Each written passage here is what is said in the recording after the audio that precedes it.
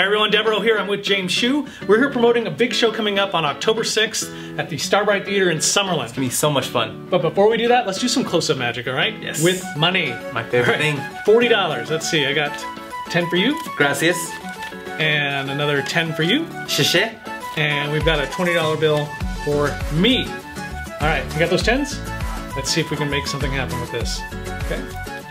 See if I can line this up just right.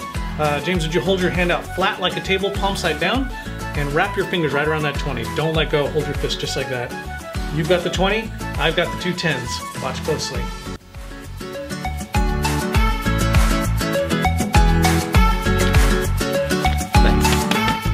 Open that hand. 20 bucks, 20 bucks. Ironically, the tickets are $20, so I will see you and you at the show.